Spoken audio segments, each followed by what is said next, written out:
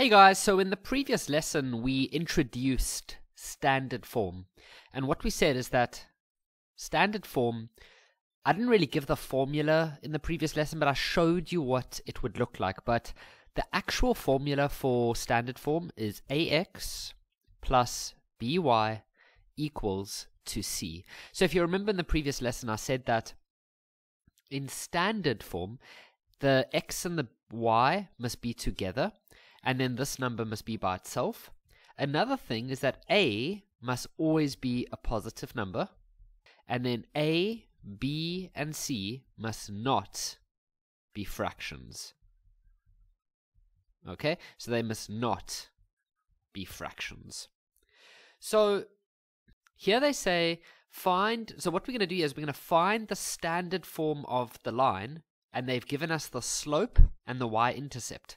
So what's actually quite funny, well, I guess it's more funny to me. Be- well, no, it's actually, I guess not funny at all. I mean, it's just maths we're doing here. But um, what's quite interesting, I should say, is we are going to use the slope intercept form first. Remember how we learned that one in the previous section, where some teachers say plus c, some teachers say plus b. It doesn't really matter. But let's say we say plus c.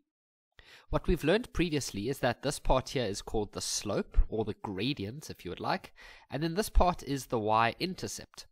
So they've given us the y-intercept and they've given us the slope, so what we'll do is we'll just make use of that. Whoops, that's a minus 2. So that's not standard form, that's called slope-intercept form, which we've seen before.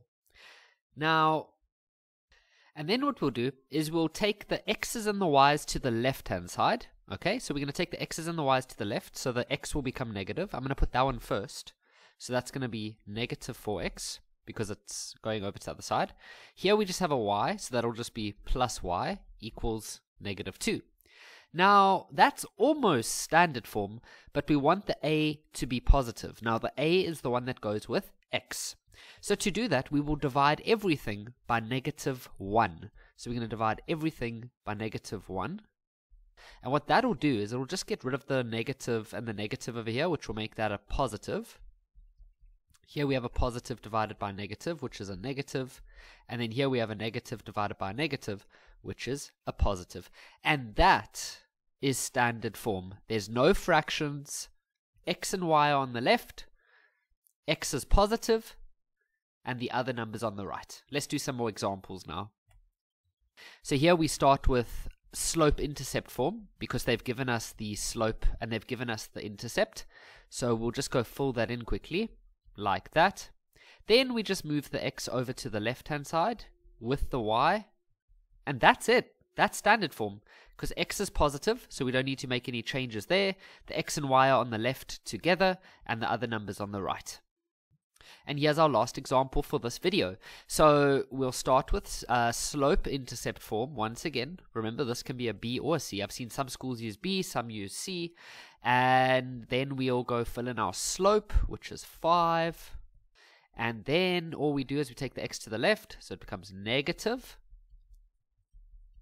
But now we're not allowed to leave the negative uh, in front of the x. The x must be a positive.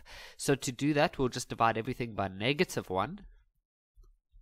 So that'll cancel out over there. So you end up with positive 5x. And then negative y, because a positive and a negative is a negative. And then on this side, you would end up with um, a positive, because a negative divided by a negative is a positive, and that would be your answer for that one over there.